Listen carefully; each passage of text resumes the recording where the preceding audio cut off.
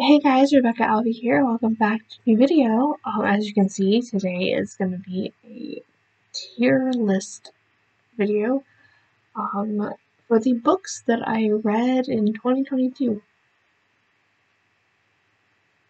So, um, yes, quickly I will go over the categories. Um, like last year, if you saw last year's video, the first category is Tamora Pierce because I have I read these books like in middle school, and I've been reading them like pretty much every year since then. And there, so there's a big nostalgia value, and I don't think I can fairly rate them against other new books that I haven't read before. So they get their own category.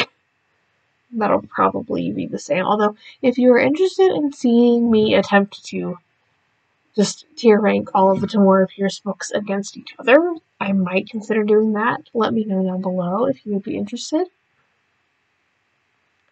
Um, anyway, the next category, the first real category for the new books that I read, is the best. These are my absolute favorites. I love them. I don't care what you think. I love them. They're my favorites. Uh, the next category is would reread. Like, it wasn't the best book in the world, but it's one that I enjoyed and I would reread it again in the future, probably. The next option is just okay. And um, it was books that I got through. There weren't any glaring issues, but it's not necessarily like one of my favorites. I may or may not read them again, honestly. And the next category is there were some issues. And um, this is honestly for specific, specific books on the list. This is the reason that this is on here. Um, basically, like I enjoyed the book or series, a lot of cases series as a whole, but there were some problems that deflected from my full enjoyment and would probably prevent me from reading them in the future. The next category is do not recommend, and these are books that I I read, I did finish reading, but I will never read them again. I didn't really love them, and um, I'm not gonna be like, hey, you should read this. And the very last category is DNF, and this is another one that was on here for one specific book. Um, because I don't usually DNF books. I usually get through them and just throw them in like I do not recommend this sort of category. But this year there was just a book that I could not get through.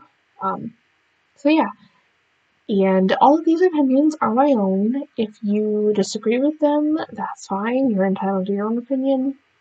I, I will not be arguing about why I chose these categories because they're just my opinions. And you can never really convince somebody else that their your opinion is right and theirs is wrong. So just it's my opinion. If yours is different, we can agree to disagree. So, with that ramble disclaimer over, let's get started. Um, these are in no particular order, just whatever um, order I was able to um, upload the pictures in. Although, now that I'm looking at this, the first book on the list is the very last book I read this year and that is the Boleyn King. Boleyn, I just mispronounce that. Um, and this is about like what if Anne Boleyn had actually had a son, and so she had never been beheaded. Um, Henry had never married Jane Seymour or any of his other wives. It was it was just two wives. Catherine, which I got rid of, and Anne. And this is like when Anne's son comes of age and all of that fun, um, fun stuff. Um, like I said, this is the first book of the trilogy, and I just got the second and third book from the library yesterday, so can't rate the series as a whole. But um, I actually really enjoyed this book.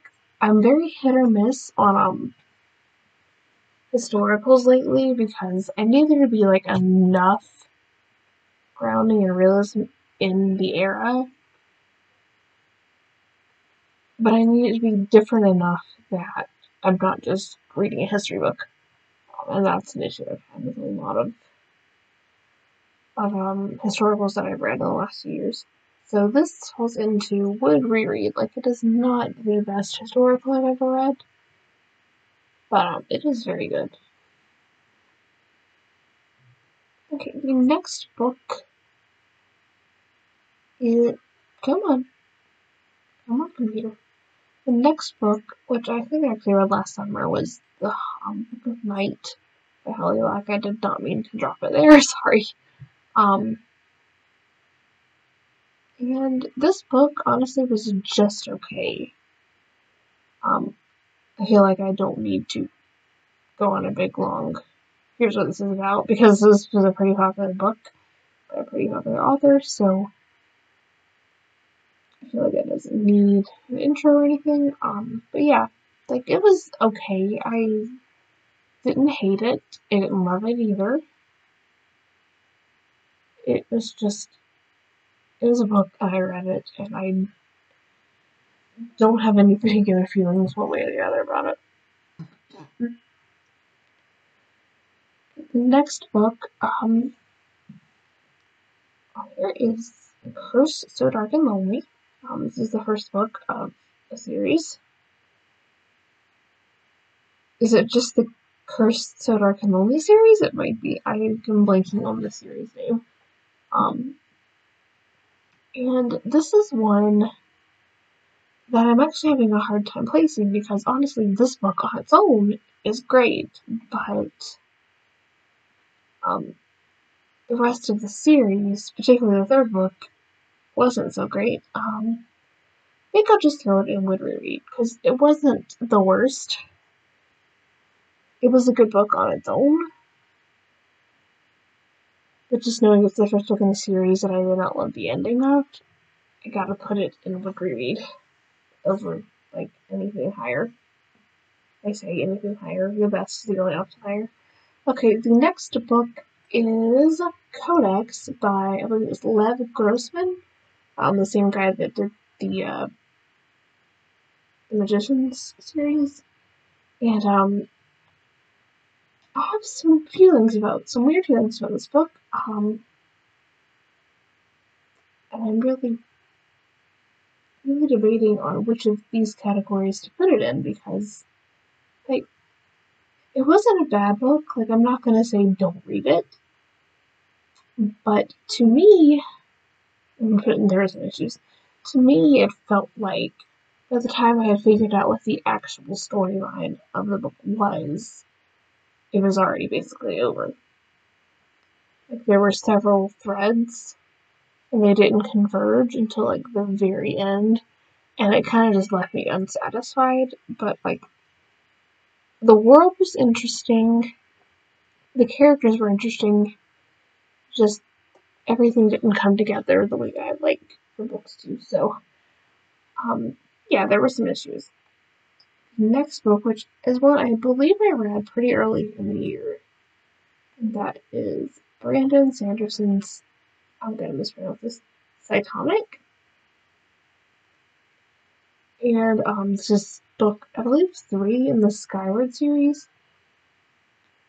And one thing I really love about the Skyward series is that every book is, not go um, every book is pretty drastically different from each other. They're all set on different worlds, same character, just different worlds. Um, and the world in this particular book might honestly be my favorite.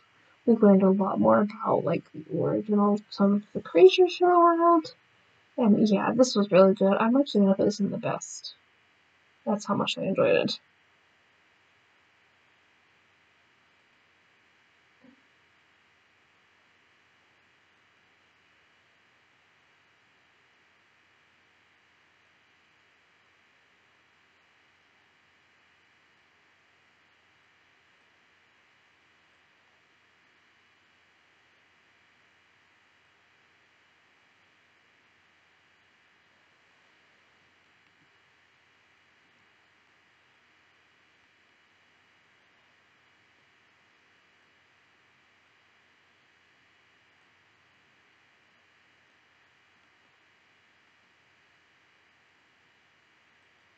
Okay, sorry, I had to take a second to adjust the, um, the screen because I realized I couldn't reach the books without like reviewing the whole big list, and there's no reason I'm not reviewing the list other than just it's hard to get everything on the page, and I feel like the actual ranks are more important than the giant book list because it's all going to get sorted in here eventually anyway.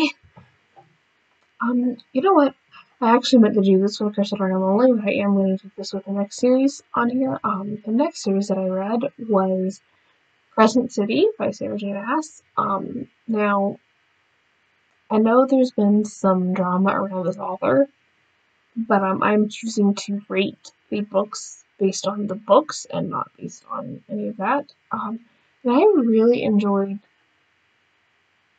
the series. Um, I'm blanking on it. House of Earth and Blood. Yeah, um, like it was a good series. I don't know if it was the best, but I would definitely reread it. In fact, I did. I got them from the library initially, and I decided like halfway through this one that I'm eventually gonna buy the series to read it, but I haven't yet. Um, the next one is House of Sky and Breath. Um, second book in the Crescent City, and I'm impatiently waiting for the third. I think I'm actually gonna put this one the best because it was like it was better than the first one, in my opinion. Um, I started really enjoying the characters and the world and that twist. I'm not gonna spoil anything, but that twist is honestly the reason that I decided to start reading because I I learned about the twist on TikTok or Facebook or somewhere. So yeah. Uh, the next book on here is uh Gilded by Mer Marissa Meyer. Is that right? I think it is. And I know this is a two book series. Um this book okay, so I started reading this book mid February uh, 2022. Uh, if you've been around the channel for a minute, you know that on February 20th of 2022, I had a stroke. And as such, I was unable to really, like, focus on reading for a few months. Um, so that may have, may have, and probably did affect my enjoyment, although I wasn't really enjoying it before that. Um, but at that point it would have gone into do not recommend. But um, I actually DNF'd this. Partially because of how I was feeling, and partially just because I wasn't enjoying the story enough to struggle through the rest of it. So yeah. Um, here we have The Hands of the Goddess.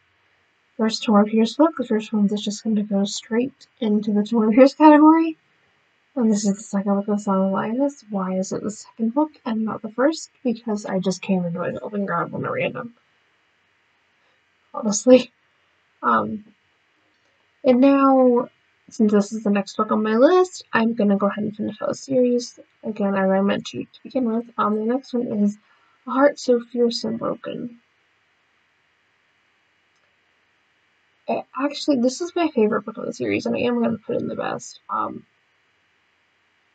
it, built really well in the world, and I enjoyed all of the characters and getting into the other characters that we didn't get so much of in of and Lonely. Um, but yeah, really enjoyed that one.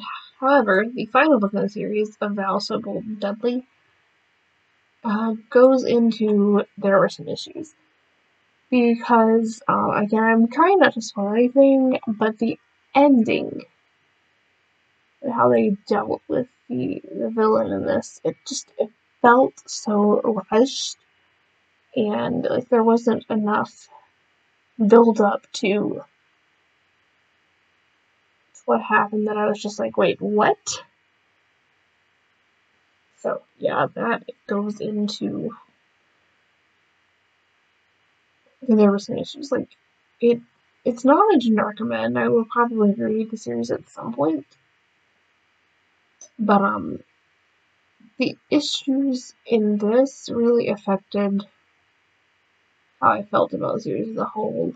Like, it wasn't a satisfying ending, so yeah. Alright, the next book is Glass Sword, the second book in the Red Queen series. And I thoroughly enjoyed the series, but this one I'm gonna put in just okay, because it was not my favorite. And yeah.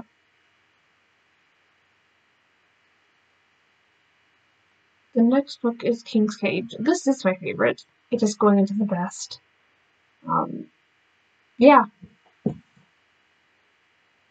And um, I actually read the first book, Red Queen, last year at the very end of um, 2021, which is why it's on this list.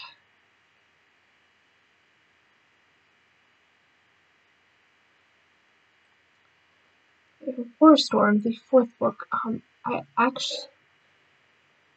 This is very close to Vow So Bold and Deadly in that the ending was not very satisfying. However, it was more satisfying than those two, but um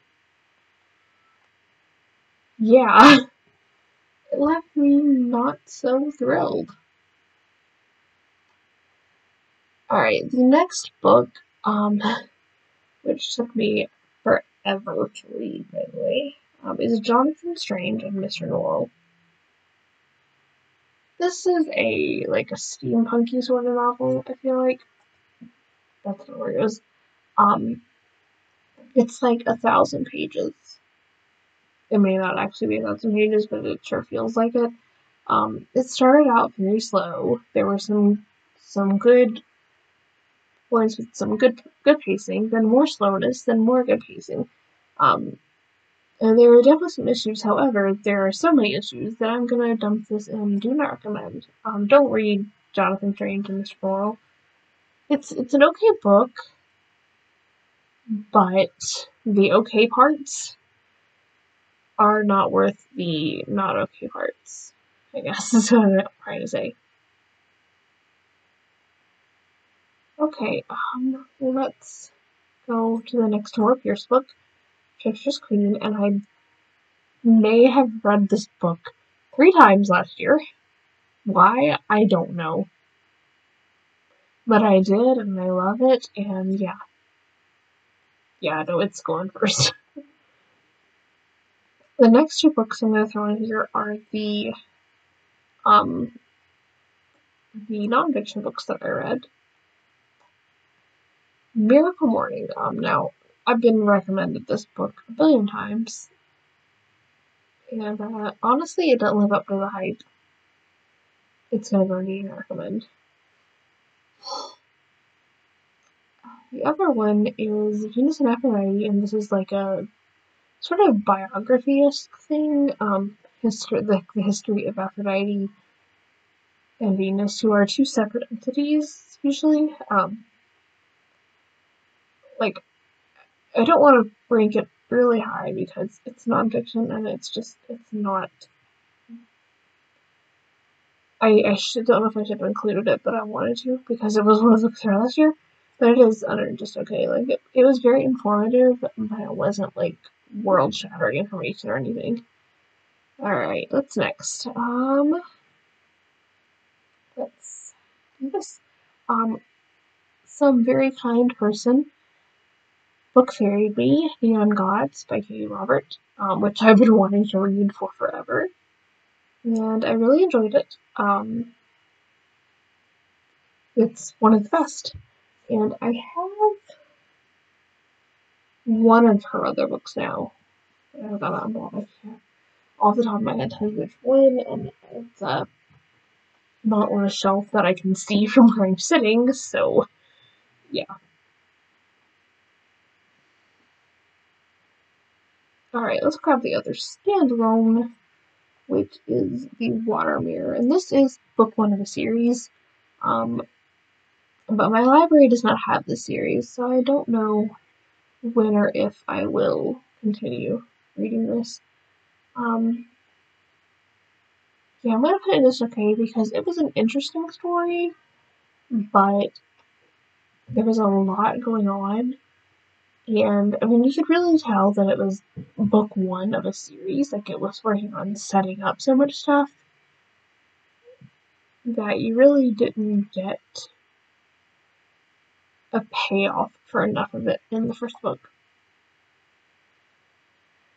Alright, let's uh, finish off a series that I started 2021. Um, like I believe in December 2021, 2021, I read The Cruel Prince, which I really liked. Um, enough to at least enough to continue the series. And so this is book three. Don't ask why I grabbed that first. Actually, I'm going to put it back because I should do book two before book three. Um,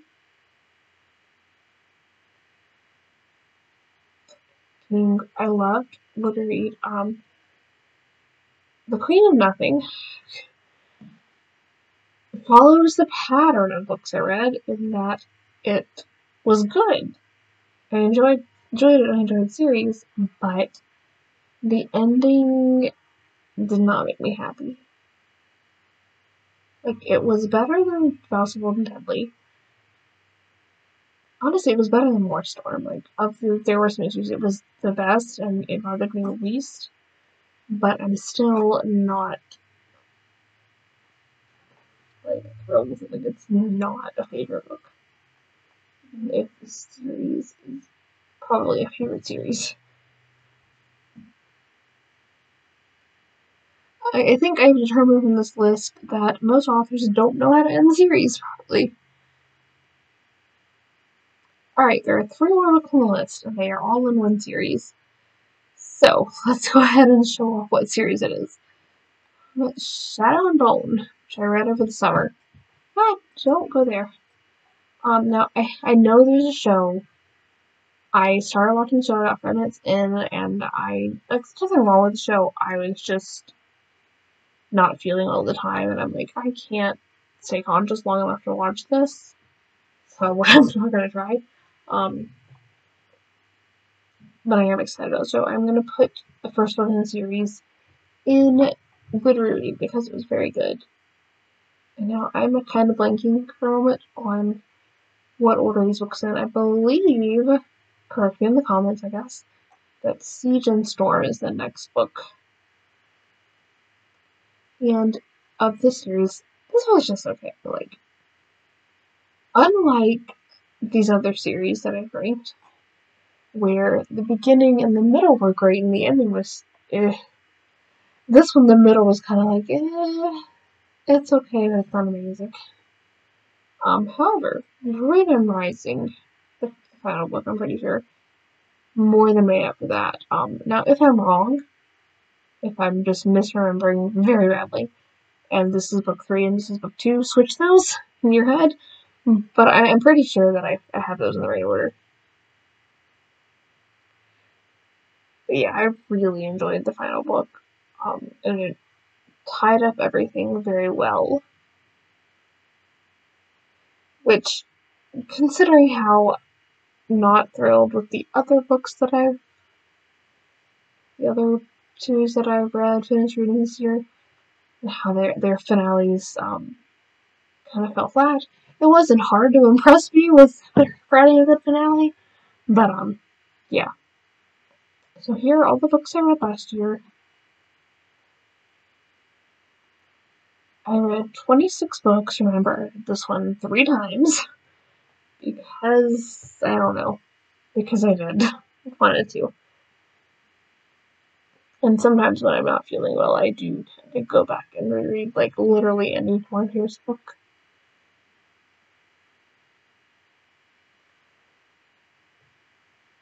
But yeah, so these are the books I read last last year. I read in 2022. Um, if you agree with my um, where I place these, let me know. If you disagree, let me know kindly. Like I, I'm not gonna argue about why I put it there and why I think you should also put it there because again, my opinion, your opinion's allowed to be different. But um, like if there's something I didn't like and you loved it, I would love to know what you loved about it, and if it's something that I'm thinking about reading, I'll try and pay, more attention to that thing in the future because maybe I just missed something. Who knows? Um, but yeah, or if there's any of these books that you've just read and want to talk about, um, feel free to comment down below and let's chat about books. That is all I have for this video. Um, don't forget to like the video if you enjoyed it, subscribe to see more from me. I post new videos every Friday, and I will see you next week with a new video. Bye.